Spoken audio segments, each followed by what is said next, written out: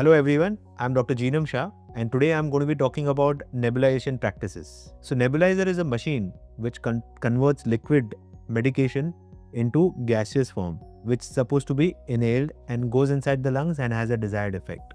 Nebulizers are better in patients who cannot coordinate for those inhalers and dry powder inhalers, something like children, for elderly, or during an asthma attack or a patient who is unconscious. So before using the nebulizer, you need to be aware about three parts.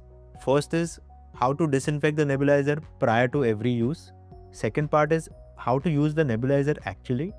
And third part is regarding maintenance of the nebulizer. Coming to the second part, that is how to use a nebulizer. This is the nebulizer, you can see.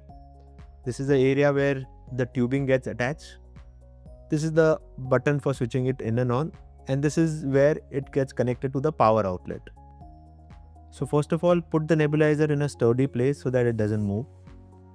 Second component is to connect the tubings to the tubing outlet. Now there are three interfaces of how to use a nebulizer. One is the mask, which is an adult mask. One is a pediatric mask and one is a mouthpiece. Depending on the patient's uh, preference, we can use either of these.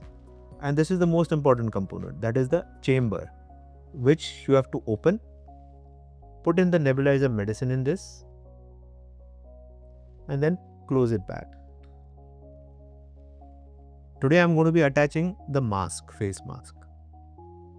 That gets attached to this uh, tubing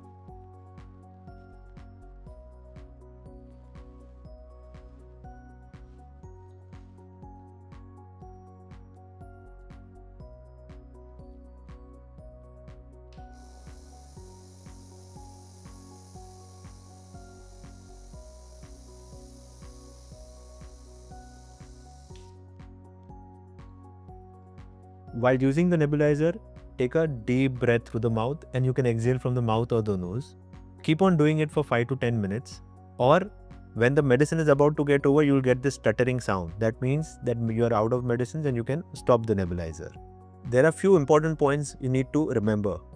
First of all, always clean your hands before using the nebulizer. 2. Sit upright when you're using the nebulizer.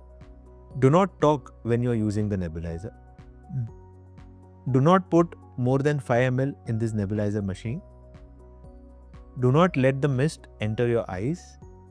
And after you are done with the nebulizer, please make sure that you are washing your face as well as you are rinsing your mouth after each procedure. Second step is regarding cleaning and disinfection of the nebulizer. So, soak the mouthpiece as well as the holding chamber for 30 minutes in a mild detergent or a soapy solution keep it there at least for 30 minutes. After that, just take it out, rinse it with water and air dry it. This step is supposed to be done prior to every use of a nebulizer. Third part is to change the filter whenever it gets discolored. So this is the filter which is there in every machine. Just remove it and put in a new filter here. So today we have learned about how to use a nebulizer, how to maintain and clean the nebulizer, if you have any questions regarding the uses of nebulizer, please put it in the comment section. We would be happy to answer your questions. Thank you for watching the video.